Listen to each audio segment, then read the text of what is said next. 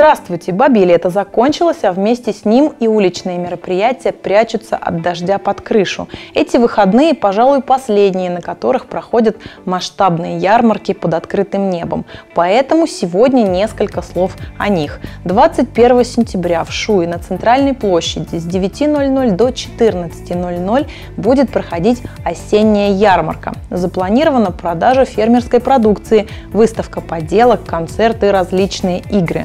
Интересно будет малышам, их родителям, ну и, конечно, бабушкам и дедушкам. Еще одна ярмарка состоится в поселке Савино. Она стартует в 9 утра.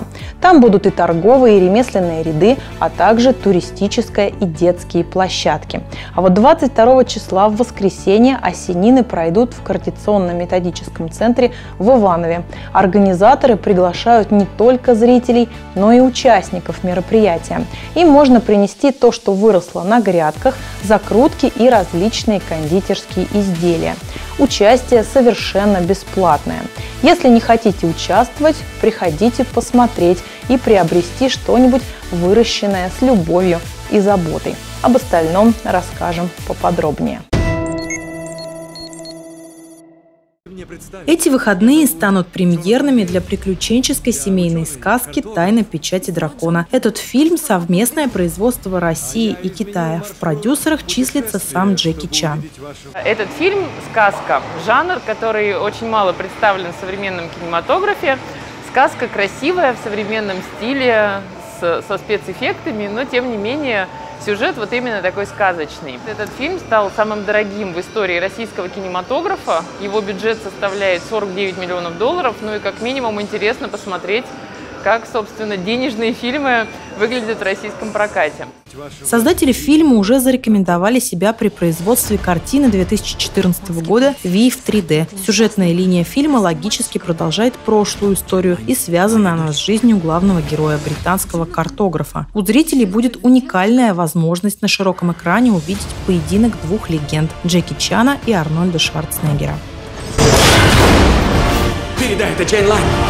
Клянусь, я найду твою дочь! Нет, нет, не трогай его. Это шлем самого Чингисхана. Нет, это копье Александра Македонского. Нет, нет, нет, нет, нет, нет! В воскресенье а, в 12 часов а, в музейно-выставочном центре состоится мастер-класс а, совместно с медиа-студией «Лютик». Их будет два. Это мастер-класс по созданию мультфильмов техники перекладка и мастер-класс по детскому блогингу. Стоимость этих мастер-классов 200 рублей, и на них обязательно предварительная запись. Информацию можно получить по телефонам 41 3809, либо по телефонам, указанным на сайте и в социальных сетях. Магия существует в мире, где цирк правит балом. Здесь жизнь и пламя, риск и смех. Это лучшее, что видели люди.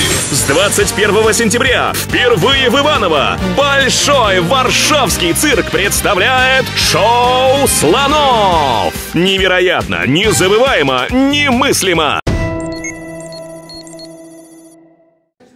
Приключения не для слабонервных. Империя квестов приглашает любителей пощекотать нервишки познакомиться с привидением Элизабет. История такова. У маленькой девочки умирает мама, потом при загадочных обстоятельствах погибает и она сама. Отец кончает жизнь самоубийством. Задача для участников квеста – распутать это дельце. И нужно выяснить, что же такое все-таки случилось э, вот в этой семье, да, какая-то загадка, почему все они оказались мертвы. И сама Элизабет, э, будучи привидением, сожалением, так и осталась в доме. И теперь никто в дом не заходит, но герой наш туда попадает, и им нужно э, выяснить, кто же ее убил. Расследовательские навыки пригодятся, как и стрессоустойчивость. Героев постоянно будет отвлекать привидение, которое вовсе не кажется безобидным. Понравится тем, кто погряз в рутине. Когда я сюда пришла, мы тут прокричались, проорались, на адреналине мы как-то себя почувствовали, что мне потом захотелось почему-то смотреть эти ужастики, чувствовать опять адреналин, опять хочется сходить и посетить какой-то квест. Страшный, здесь, кстати, есть, да, еще один, вот, и как-то хочется еще это чувствовать дальше.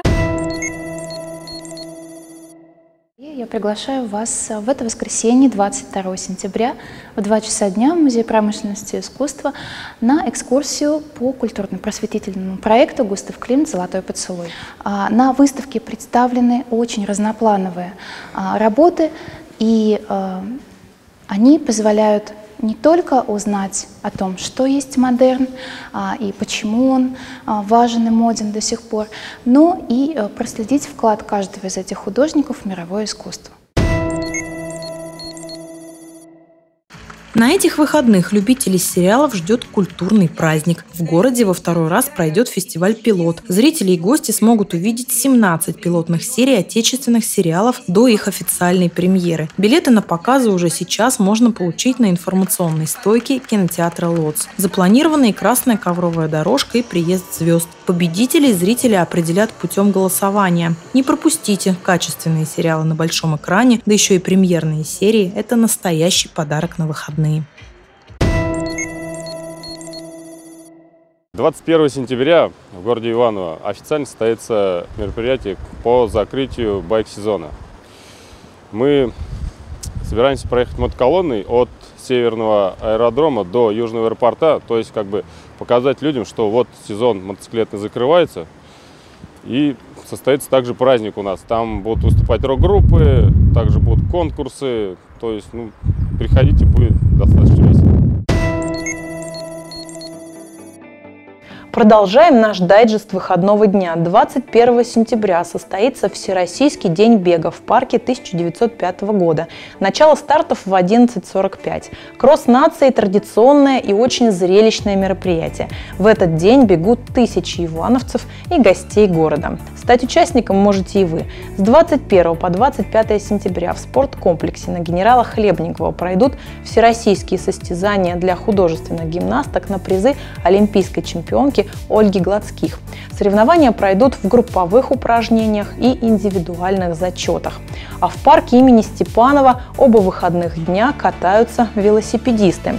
Будут детские заезды, кросс по пересеченной местности, а также будет парная эстафета. Старт в 11.00.